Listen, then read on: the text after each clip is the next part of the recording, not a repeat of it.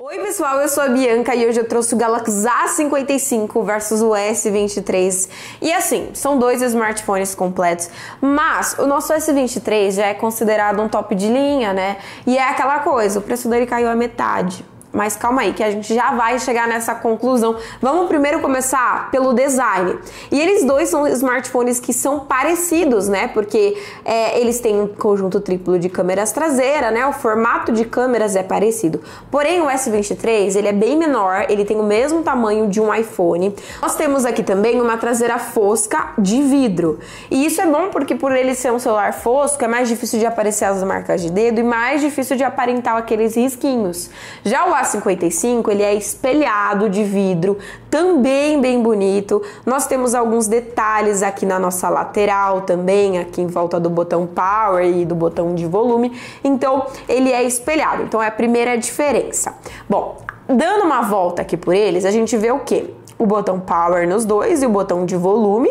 Na parte de cima, no A55, nós já temos aqui a gavetinha para o chip. Já no S23, a gente só tem a, a, o microfone aqui em cima. Desse lado de cá, nós não temos nada nos dois, e na parte de baixo, nós temos a gavetinha para o chip no S23. Entrada para carregar USB-C nos dois, microfone e saídas de som. Então, são dois smartphones até que parecidos, né? Quando a gente deu uma volta aqui por ele, a gente percebeu. E, e sim, os dois têm duas saídas de som, né? Com áudio estéreo, que é a melhor qualidade sonora para você ouvir música assistir filme ou até mesmo jogar. Então o áudio estéreo sai som por dois lados do nosso celular, pela parte de baixo e pela parte de cima, né? Então aqui na frente da nossa tela, nos dois, a gente tem uma de som, tanto no A55 quanto no S23, aqui em cima tem uma saída, tá? E outra coisa, os dois smartphones são são resistentes à água. Na verdade, o Galaxy A55 vem com IP67, que é uma das mais altas proteções contra água, só que o S23 vem com IP68, a máxima proteção contra água. Então já começamos aí com a primeira diferença. Mas pra gente continuar, a gente tem que analisar aí os preços para aí sim a gente ter certeza de qual a gente vai comprar. O nosso S23 caiu metade do preço. Ele custava quase 5 mil reais, era um absurdo de caro,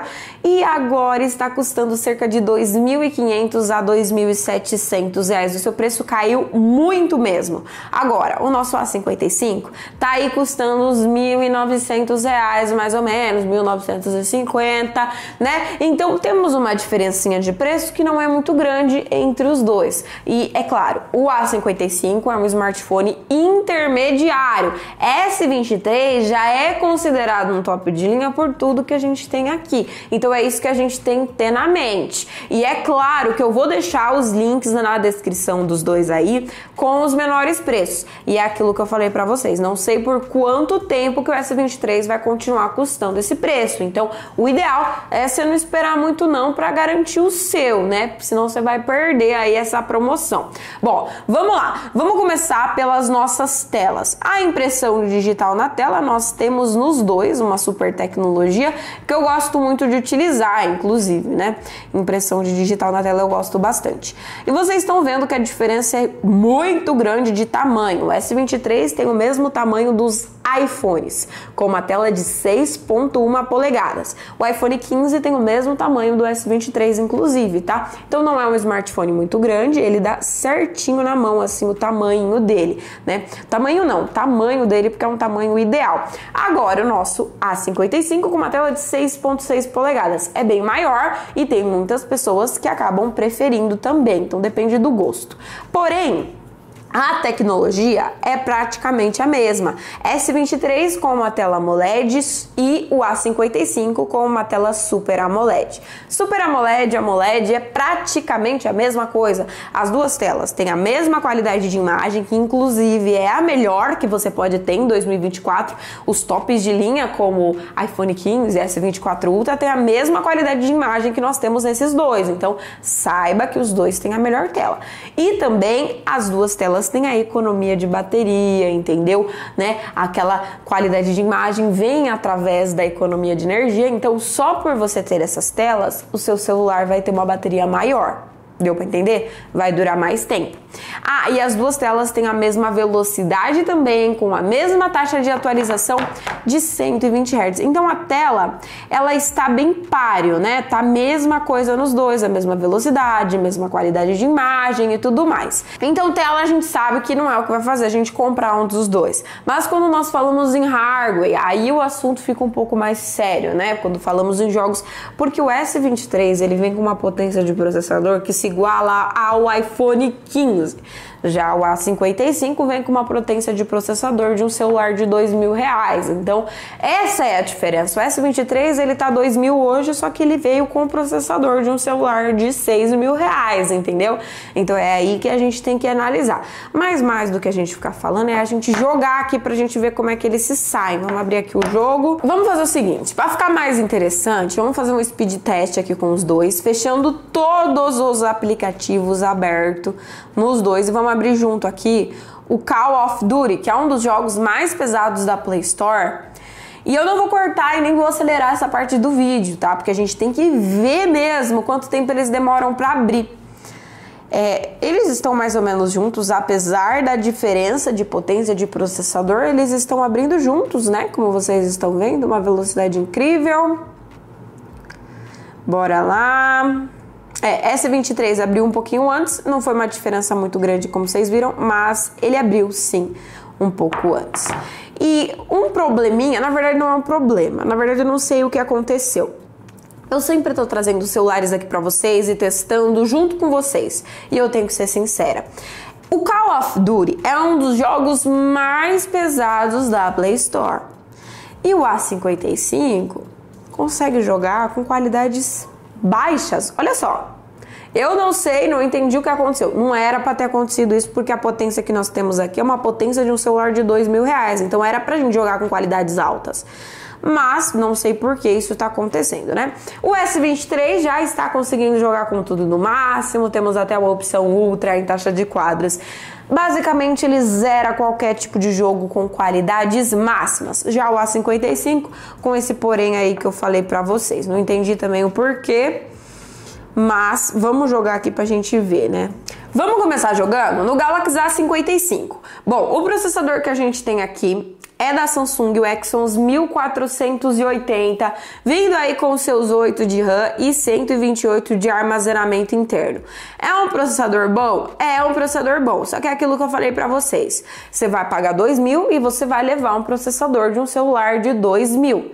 Quer dizer, vai, vai compensar? Talvez mas não é um custo-benefício, não é aquele celular que você paga um preço e leva uma potência maior, assim como o S23. O S23 está na casa dos 2 mil, só que você leva um dos processadores mais potentes de 2024, que é o Snapdragon 8 geração 2, com 8 de RAM e 256 de armazenamento interno. Claro, a gente tem a versão também com 128 de armazenamento interno, mas é uma diferença de 100 reais aí para você pegar com 256 e acaba tendo mais espaço, né? E assim, esse processador é bem mais potente, para vocês verem que eu não estou exagerando, né?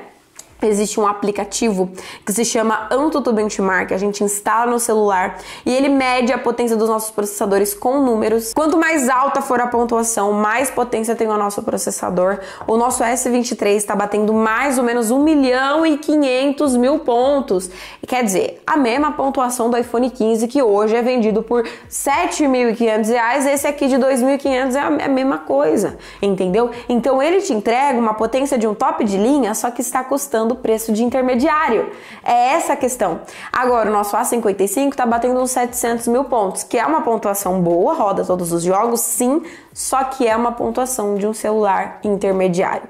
Então, é, o custo-benefício está total no S23 com toda certeza. E é aquilo que eu falei, não sei quanto tempo ele vai ficar com esse preço. Então, vou deixar o link aí para você poder garantir o seu. Bom, agora, quando falamos de câmera, a gente vai tirar limpo qual dos dois a gente vai comprar. Bora lá ver as fotos que eu tirei com eles. A câmera padrão dos dois, ela é de 50 megapixels, mas podemos ver com clareza que o S23 dá mais conta do recado, né? A gente tem lente grande angular também nos dois, só que é de 12 megapixels no A55, grande angular de 12.2 no S23. Nós temos também uma lente macro de 5 no A55 e uma lente telefoto de 10 no S23. A câmera de selfie com 32 no A55 e 12 megapixels no S23. E aí, qual das câmeras que você mais gostou? Bom, obviamente, o S23 dá muito mais conta do recado, né? É um celular top de linha com câmeras de top de linha de verdade. Realmente, o custo-benefício dele tá absurdo. Agora, quando falamos de NFC, obviamente nós temos os dois. Inclusive, o NFC é um dos recursos que eu mais uso e não pode faltar no seu próximo celular. Aonde você vai poder fazer pagamento por aproximação. É isso aí. E o mais legal é que você não precisa de internet para você fazer esses pagamentos, não precisa estar conectado numa rede de Wi-Fi, só você chegar perto da maquininha aí e pagar com muita facilidade. Além disso, dispensa totalmente uma carteira física e você utiliza apenas uma carteira virtual, né? E é claro, bateria a gente tem bastante nos dois, o A55 com 5.000 mAh, uma bateria um pouco maior do que o, A, o S23 que vem aí com 3.900 mAh. Comentem aí, qual dos dois vocês mais gostaram, que eu quero saber a sua opinião. S23 compensa muito mais, tanto em hardware, câmeras, tela, processador processador, tudo, ele está sendo um custo-benefício bem maior. E aproveita para garantir o seu já com opção de parcelamento sem juros, frete grátis, tudo aí na descrição para você. Só ser um pouquinho mais para baixo do vídeo que você já tem acesso ao link. Deixa o like, se inscreve aí no nosso canal também para fortalecer. Comenta aí o que, que você achou, porque eu preciso saber a sua opinião também. E até a próxima.